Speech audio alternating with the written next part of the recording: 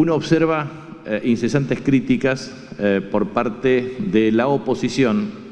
eh, que en definitiva no se comporta ni como vocero de grupos mediáticos concentrados, sino como pareciera periodistas freelance. Ya le van a sacar el trabajo a ustedes, porque la verdad que trabajan sobre una línea editorial. El proyecto no fue remitido todavía y efectúan observaciones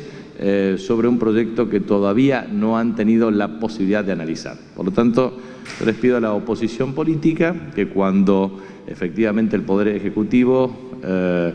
promueva eh, la presentación del, Congreso, del proyecto al Congreso de la Nación, tendrá la posibilidad de debatir y en virtud de ello podrá hacer las contribuciones que corresponda o que cree necesario o oportuno. Ahora lo que uno observa es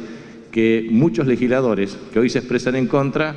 hasta días atrás, semanas atrás, o históricamente se expresaron a favor de una reforma profunda